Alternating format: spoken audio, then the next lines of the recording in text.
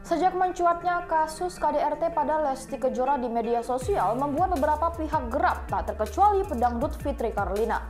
Fitri Karlina merasa sedih mendengar kabar yang menimpa Lesti Kejora, apalagi dirinya adalah salah satu penggemar dari Lesti Kejora dan Rizky Bilar. Dilansir dari tribunseleb.com, Fitri Kalina turut memberikan komentarnya soal Lesti Kejora jadi korban KDRT yang diduga dilakukan oleh suaminya. Fitri Kalina mengatakan selalu memberi nasihat kepada Rizky Bilar untuk selalu menjaga Lesti Kejora.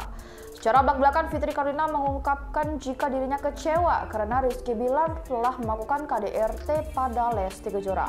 Menurutnya, hubungan mereka awalnya baik-baik saja dan tidak ada tanda keretakan dalam rumah tangga Lesti Kejora. Mendengar hal ini, Fitri Karina langsung menghubungi keluarga Lesti Kejora untuk memastikan kebenaran dari berita yang beredar. Fitri Karlina berharap dan mendoakan yang terbaik dan selalu memberikan dukungan untuk Lesti Kejora.